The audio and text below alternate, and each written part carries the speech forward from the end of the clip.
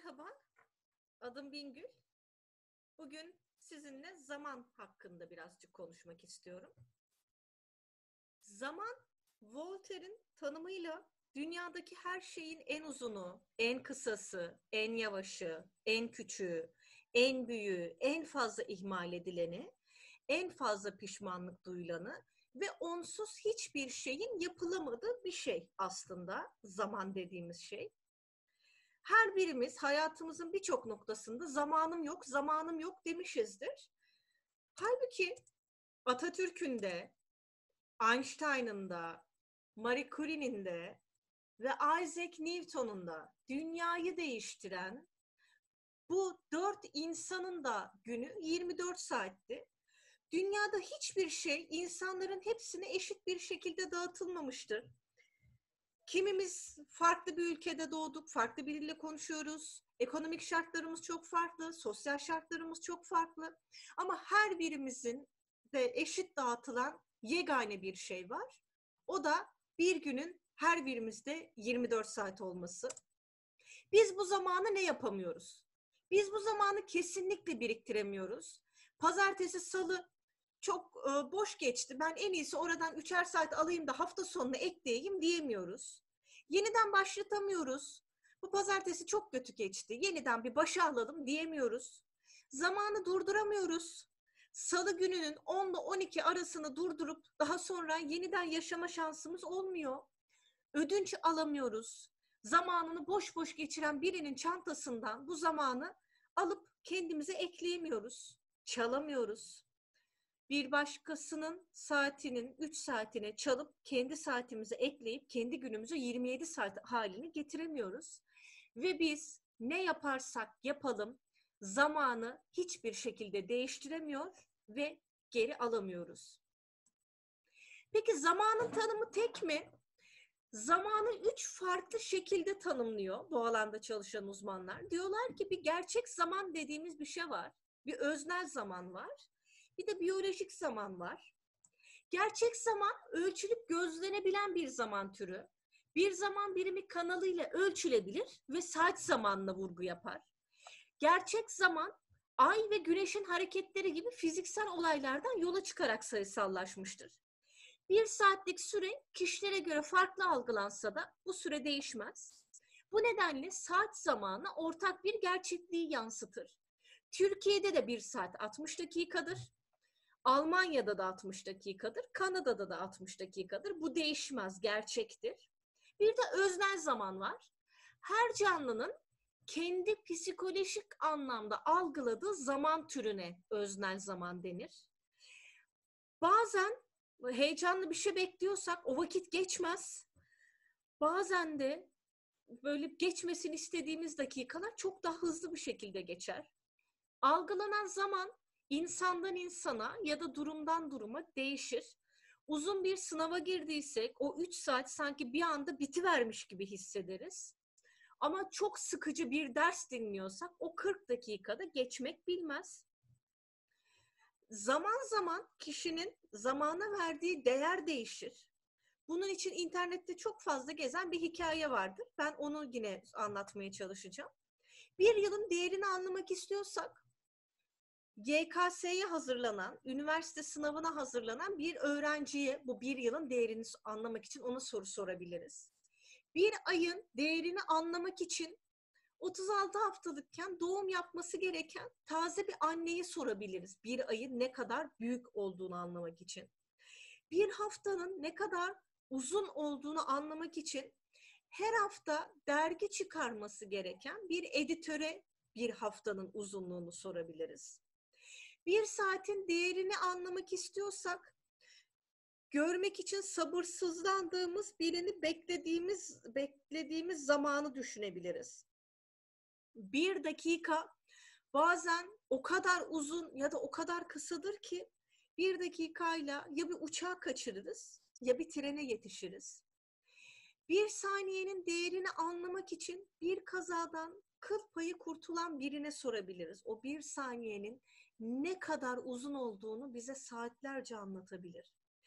Ya da bir milisaniyenin değerini anlamak için olimpiyatlarda yarışan bir atlete ya da bir yüzücüye sorabiliriz. O bir milisaniyenin ne kadar önemli olduğunu ve bir milisaniye yüzünden gümüş madalya kazanmak durumunda olan bir olimpik sporcu bir milisaniyenin bize ne kadar uzun ya da ne kadar kısa olduğunu anlatacaktır.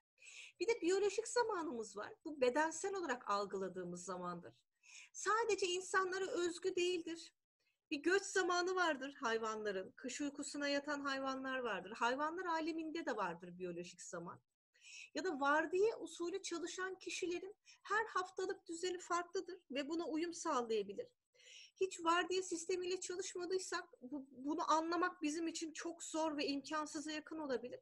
Fakat vardiyalı sistemde çalışan kişilerin gece yarısı işe gitmek için kendiliğinden uyanması tamamıyla kendi biyolojik ritimleriyle ilgilidir aslında. İçgüdüseldir. Süreç içerisinde kazanılmış alışkanlıklara dayanır. Zamanı biz nasıl yönetiyoruz? Zamanı nasıl yönettiğimizi anlamak için aslında beş basamağı zihnimizde tutmak gerekiyor. Bunlardan ilki zamanı algılamak. İkincisi zorluklarını fark etmek. Üçüncüsü kendimizi tanımak. Dördüncüsü zaman tuzaklarını fark etmek. Beşincisi ise zaman yönetimi tekniklerini anlamak. Zamanı algılamak dediğimizde biz neyi kastediyoruz? En kötü kullandığımız kaynaktır zaman. Her birimize eşit süre verildiği halde biz bu zamanı tanımlamayı ya da tanımayı hayli zor yaparız. Zamanı yönetebildiğimizde yani zamanı anlayabildiğimizde kendi içsel stresimizi kontrol edebiliriz her şeyden önce yapmamız gereken işler ve ayır, sevdiğimiz insanlara ayırmamız gereken zaman arasında dengeli bir dağılım yaratmış oluruz. Kişisel üretkenliğimiz artar. Kendimizi daha iyi hissederiz. Yapabiliyorum. Demek ki uzun zamandır ertelediğim, arka planda bıraktığım işlerimi de halledebilirim diye düşünebiliriz. Zamanı yönetmeyi öğrenmek için ikinci aşamamız ise zorlukları fark etme aşaması. Yani biz neden erteliyoruz? Erteleme bizim için neden bir sıkıntı? Motivasyonumuz eksik olabilir bazı işleri yapmak için. Öncelik sıralamasında hata yapmış olabiliriz. Gerçekten yapmamız gereken işlerle yaparken keyif aldığımız ama o kadar önemli olmayan işler arasında bir sıralama hatası yapmış olabiliriz. Ya da yumurta kapıya kapanınca deyimi biz Türklerde çok yaygındır. Nasılsa olmayacak endişesiyle son ana kadar bırakıp daha sonra bak gördün mü olmadı deriz kendi kendimize. Bu aslında kendimizin geliştirdiği bir savunma mekanizmasıdır. Bazı şeylerin ne kadar çok olmayacağına inanırsak yapmayı o kadar geç başlarız ki yapamadığımızda kendimize şunu deriz. Ya zaten zamanında başlamamıştım, yetişmeyeceğini biliyordum. Başarısızlığımıza böylelikle bir kılıf ayarlamış oluruz. Ya da kendi kendimize bahaneler üretiriz. Ya ben zaten sabah insanı değilim ya da ben geceleri çalışamıyorum deriz kendi kendimize. Zamanı yönetemediğimizde ne olur? E, sindirim sistemimize vurur her şeyden önce. Öfkelenip strese gireriz. Böyle e, Gaviscon sorarız, Reni sorarız etrafımızdakilere.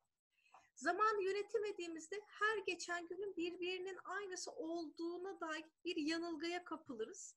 Özellikle evde kalmamız gereken günlerde zamanı etkili bir şekilde yönetemediğimizde depresif belirtiler de göstermeye başlarız.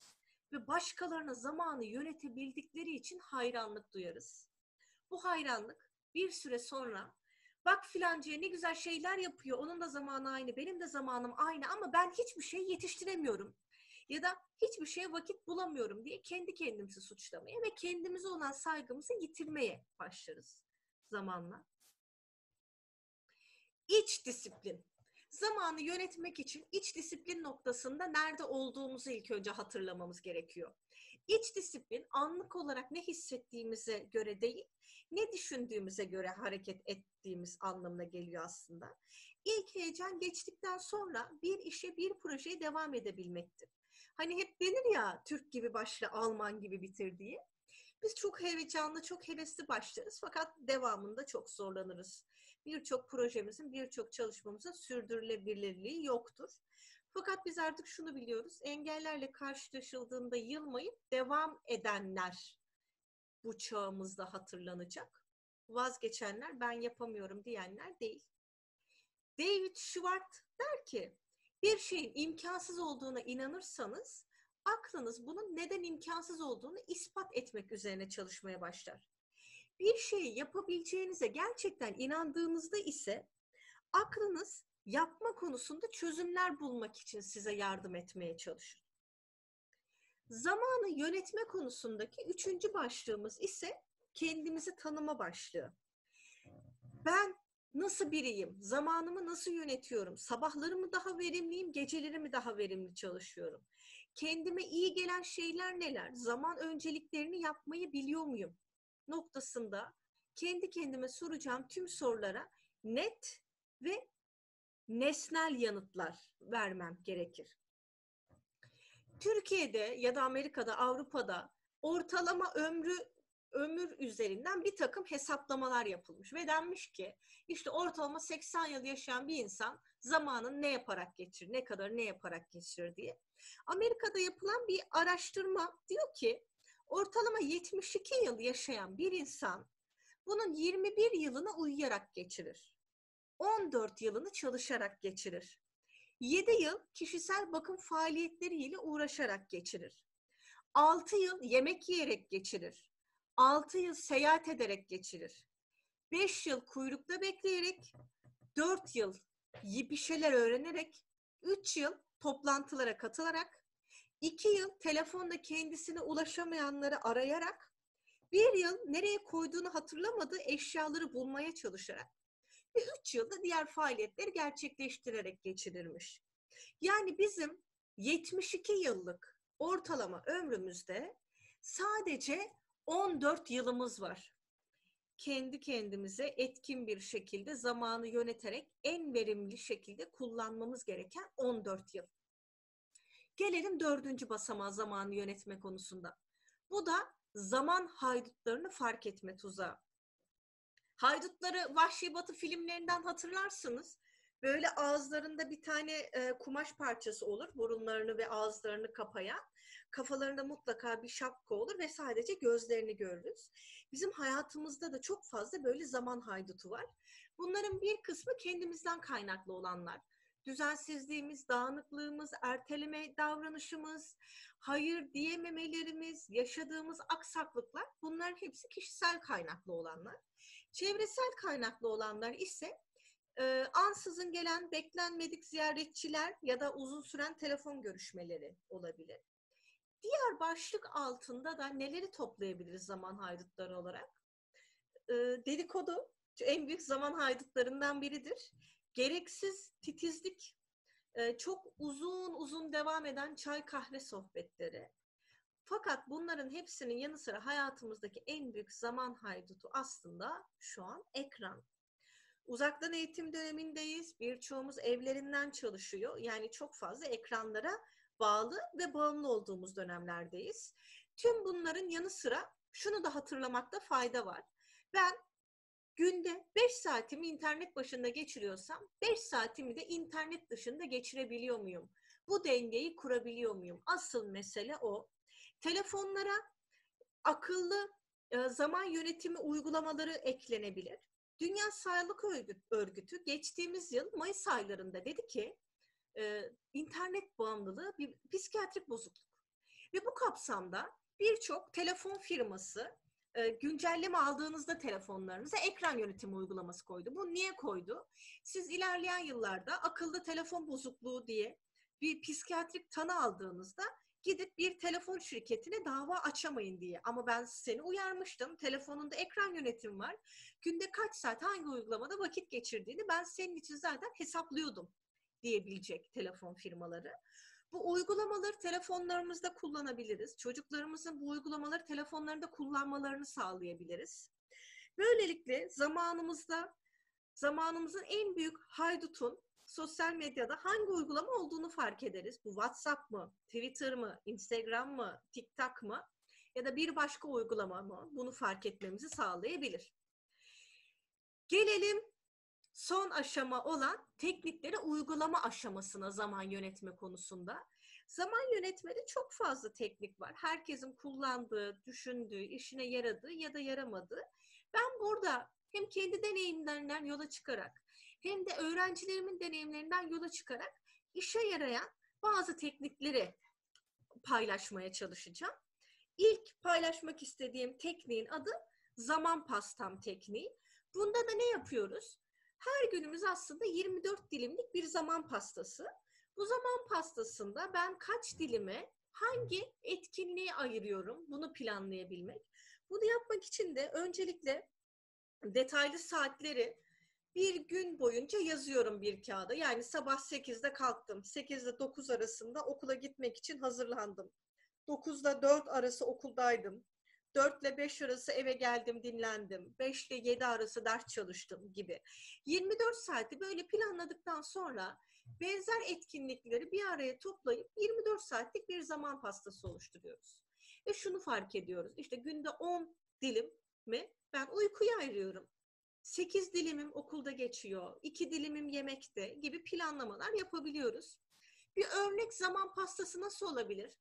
Okulda diyelim 6,5 saat geçiriyorum. 6,5 dilim okulda ait. Bir buçuk dilim derse çalışmak için hazırlıklar yapıyorum. Bir dilim test çözüyorum. Bir dilim kitap okuyorum. Bir dilim ders tekrarına veriyorum. Beş dilimde işte televizyon, ekran, oyun, yemek, diğer dinlenme faaliyetlerine ayırıyorum. Ben böylelikle 24 saatlik bir zaman pastamı gördüğümde kendime şunu sormuş oluyorum. Ben kendi zamanımın ne kadarını iyi kullanıyorum, ne kadarını daha iyi kullanmaya ihtiyacım var. Zaman pastası yöntemiyle tanıştığımda üniversitedeydim ve hep şuna inanıyordum. Zamanımı ben kesinlikle çok iyi yönetiyorum. Her şey yolunda. Fakat bu detaylı zamanı yazıp kendi zaman pastamı çıkartınca şunu fark ettim. Bu işte bir yanlışlık var. Çok fazla zamanımı boşa harcıyorum. Bunu fark ettikten sonra zamanımı da çok daha iyi ve etkin bir şekilde yönetmeye başladığımı öğrendim. En sevdiğim ve en ergonomik, en faydalı tekniklerden biridir zaman pastası. Zaman yönetimi için hep böyle kurallardan bahsedilir. Asıl mesele planlı ve programlı olmak, hayır demeyi bilmek, işleri ertelememek, zorunlu işlerden sonra kendimize bir es verip dinlenmek ve yedek zaman ayırmaktır. Öncelik planlaması yapmak bir diğer zaman yönetimi tekniğidir. Yani sabah kalktınız ya da haftalık planlamanızı yapıyorsunuz. Yapılması gereken işleri listelemek. Bu işleri listeledikten sonra acil yapılması zorunlu işlerin yanına A yazmak. Yapılması gerekli acil olmayan işlerin yanına B yazmak. Yapılabilecek acil olmayan işlerin yanına ise C yazmak. Bu nasıl örneklenebilir? Yapılması zorunlu acil e, yetiştirmeniz gereken bir proje vardır ya da bir dönem ödevi vardır cuma gününe. Bu A tipi işlere girer.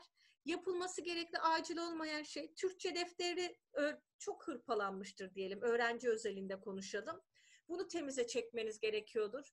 Bunun çok bir aciliyeti yoktur ama yapılması gerekir. Bu B tipi iştir.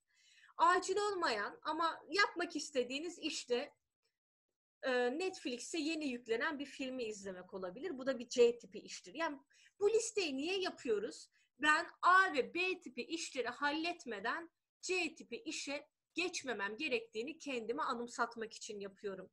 Bunu bazı uzmanlar bir tablo olarak da yorumluyor. Bu tabloyu nasıl yorumluyorlar? Gözünüzün önünde bir tablo canlandırın. Önemlilik ve aciliyet olarak bu tabloda dört ayrı köşe var hem önemli hem acil olan işler bir köşede, önemli ama acil olmayan işler bir diğer köşede, önemsiz ama acil işler bir başka köşede ve bir köşede de önemli de olmayan, acil de olmayan işler var. Biz genelde önemli de olmayan, acil olmayan işlerde vaktimizi çok harcıyoruz. Sosyal medyada vakit geçirmek gibi. Bu tabloyu zihnimizde canlandırıp gerçek hayatta da uygulamaya koyduğumuzda kendi zamanım konusunda ciddi bir içsel farkındalığım oluşuyor ve ona göre daha verimli işler yapmak için zamanımı kendi kontrolümde yönetmeye başlıyorum. Buradaki asıl mesele kendi kontrolümde olması. Çünkü bu 24 saat evet mutlaka dışarıdan uyaranlar geliyor her zaman kendi kontrolümde olmuyor ama çok büyük bir kısmı kendi kontrolümde. Zamanında bu kendi kontrolümde olma meselesini atlamamam gerekiyor. Bir diğer çok beğendiğim ve birçok öğrencinin de hoşuna giden teknik ise Pomodoro tekniği. Bunu bir İtalyan öğrenci bulmuş. Şunu fark etmiş. Arkadaşları ikişer, üçer saat çalışırken o çalışamıyor. Ve kendisinde de bir sorun olduğunu düşünüyor. Nasıl yani ben nasıl çalışamıyorum diye. Evde mutsuz mutsuz gezinirken mutfaktaki domates şeklindeki bir mutfak planlayıcısı dikkatini çekiyor. Bunu alıyor eline. Kırmızı bir mutfak saati düşünün. Artık Türkiye'de de çok yaygın bunlar. Pomodoro da zaten İtalyanca'da domates demek.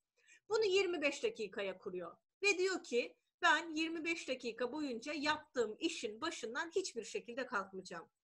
O zamanlayıcı çalıyor 25 dakika dolunca. Çaldıktan sonra 5 dakikaya kuruyor. 5 dakika ara veriyor. Daha sonra yeniden dersin başına ya da işinin başına oturup 25 dakikaya yeniden kuruyor. 4 tane Pomodoro tamamladığında yani 25 çarpı 4 100 dakika tamamladığında 2 saatin sonunda kendisine 25-30 dakikalık uzun bir mola veriyor. Olayın kilit noktası aslında şu. Asla ama asla o 25 dakikalık seanslar boyunca dikkatinin dağılmasına hiçbir şekilde izin vermiyor. Yani akıllı telefonunu kapatıyor, odasına lütfen beni rahatsız etmeyin diye bir hatırlatıcı belki koyuyor. Ve diyelim ki bozuldu bu 25 dakika, durduruyor. O acil olan şeyi hallediyor, daha sonra yeniden başlıyor. Pomodoro tekniğiyle ilgili her şeyin biliyorsunuz e, teknolojide karşılığı var. Telefonların uygulama indirme kısmında Pomodoro saatleri var. Ücretsiz uygulamalar bunlar. Onlardan yararlanıp deneyebilirsiniz. Kendimde de çok faydasını gördüğüm, birçok öğrencimde de faydasını gördüğüm bir teknik. Pomodoro tekniği. Peki ben zamanımı yönetirken, zamanımı planlarken yüzde yüzünü planlamalı mıyım? Bu mümkün mü? Hayır tabii ki mümkün değil. Plansız aniden çıkan işler hayatımızda her daim olacak. O yüzden ben diyelim ki 5 saatim var. Bu 5 saatimi planlarken yüzde 60'ını planlamam gerekiyor sadece.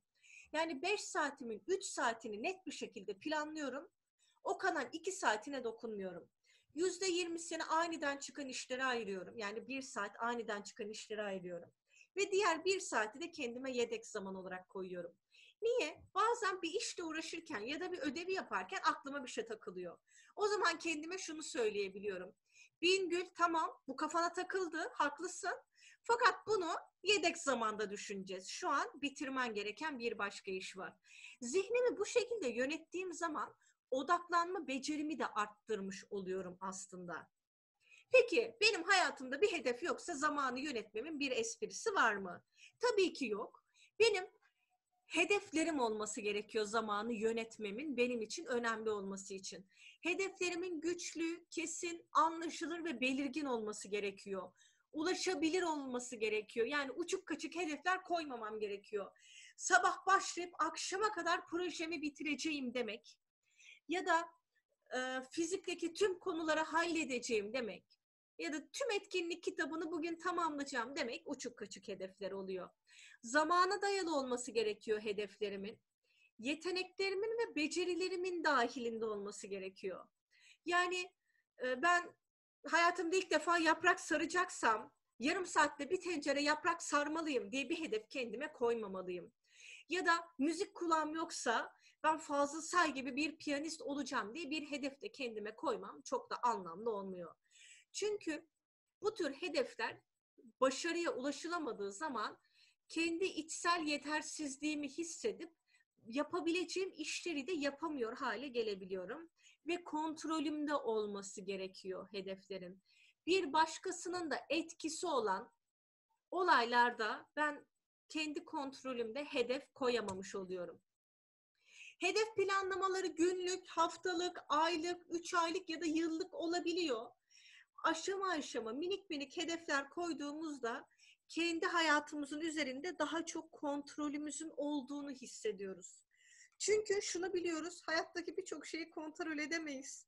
Fakat kontrol edebildiğimiz şeylerde de kontrolümüzü kaybetmememiz gerekiyor. Gecikmelerle mücadele etmek için neler yapılabilir? Bu anda çalışan uzmanlar diyor ki bir bitirme tarihiniz olsun. Bir hedef koyduğunuz zaman bunu bir de bitirme tarihiyle netleştirin. İlk önce sıkıcı olan işi yapın. Çünkü tablonuzda acil ve önemli olan işler genelde sıkıcı işlerdir. Sıkıcı işler bittiğinde bir derin bir nefes alıp yolunuza devam etmek daha iyi olabilir. Bir ödüllendirme sistemi koyun. İşleri küçük bölümlere ayırın yaparken ve şimdi yapın. Ayrıca gecikmelerle mücadele ederken kendinize bir mentor de belirleyebilirsiniz. Burada mentor derken neyi anlatmak istiyorum? Diyelim ki bugün e, 50 soru çözeceksiniz. 50 tane edebiyat sorusu çözeceksiniz. Annenize sabah şunu diyebilirsiniz. Anne ben bugün 50 tane edebiyat sorusu çözmeye kendime hedef koydum. Lütfen bana akşam 8 gibi bunu yapıp yapmadığımı sor. Böylelikle bir dış kontrol mekanizmasını kendi isteğimle sisteme soktuğumda daha iyi ve daha kontrollü hissedebiliyorum. Kendimi yönetmeyi nasıl öğrenebilirim? Günün herhangi bir anında kendime şu soruyu sorabilirim. Ben şu anda ne yapıyorum? Bu soruya verdiğim yanıt çerçevesinde zamanı boşa harcayıp harcamadığımı da değerlendirmiş olurum. Ve daha sonra kendime şunu sorabilirim. Zamanımı en iyi nasıl değerlendirebilirim?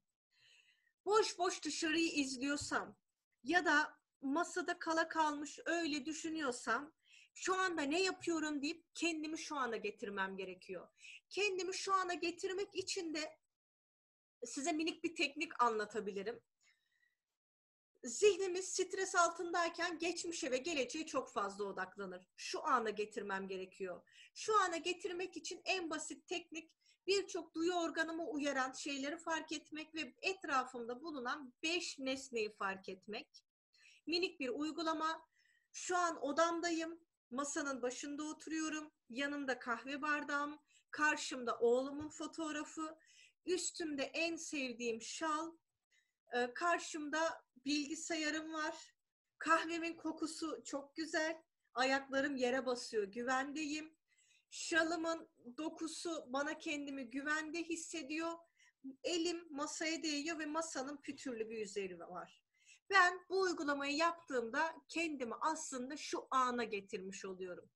Şu andayım, geçmişte değilim, gelecekte değilim ve şu anki zamanı en iyi nasıl değerlendirebilirim? Son söz olarak e, ufak bir öyküyü size aktarmak istiyorum. Fransız Kamu Yönetimi Okulu profesörlerinden biri Amerikalı büyük şirketlerin üst düzey yöneticilerine etkili zaman yönetimi konusunda ders vermesi için davet edildi. Elit yöneticiler sıralarında oturmuş, ünlü profesörün ağzından düşecek her kelimeyi yazmak için bekliyordu. Yaşlı profesör yavaşça her yöneticinin tek tek gözlerine baktı ve nihayet bir deney yapacağız bugün dedi. Masanın altından bir kavanoz çıkardı. Kavanozun içine yine masanın altından çıkardığı tenis topu büyüklüğündeki taşları dikkatlice koymaya başladı. Kavanoz ağzına kadar dolup da daha fazla taş alamayınca kavanoz doldu mu diye sordu. Salondaki herkes birlikte bağırdı. Evet. Sahi mi? diye karşılık verdi profesör. Masanın altından biraz çakıl taşı çıkardı. Kavanozu önce sallayıp daha sonra içine çakıl taşlarını yeniden koydu. Kavanozu tekrar salladı. Böylece küçük taşlar büyük taşların arasında kendilerine yer buldu. Ve aynı soruyu bir kez daha sordu. Kavanoz şimdi doldu mu? Yöneticiler profesörün ne yapmak istediğini yavaş yavaş anlamaya başlamıştı. İçlerinden birisi dedi ki, hayır herhalde.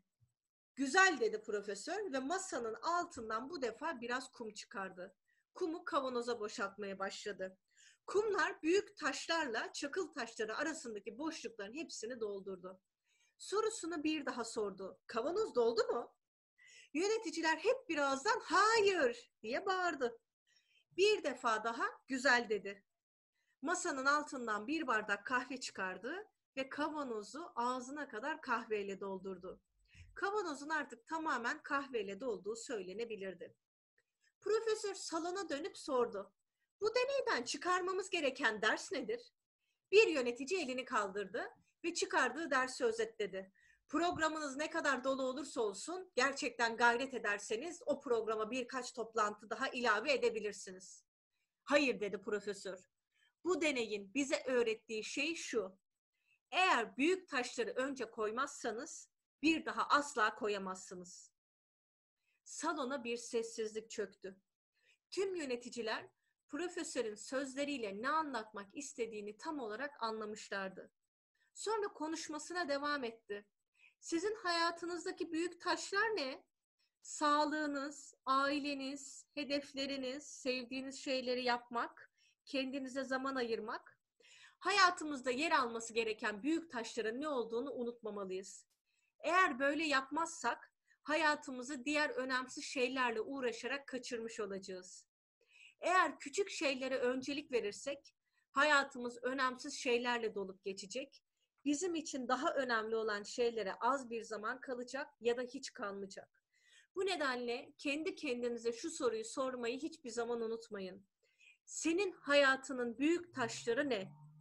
Bunu belirledikten sonra hayat kavanozunuza önce onları koyduğunuzdan emin olun. Ve unutmayın, kavanoz ne kadar dolu da olursa olsun her zaman kendiniz için bir bardak kahveye yer vardır. Son söz, harcayacak zamanın olduğu müddetçe zamanı akıllıca kullanmak için hiçbir zaman geç değildir.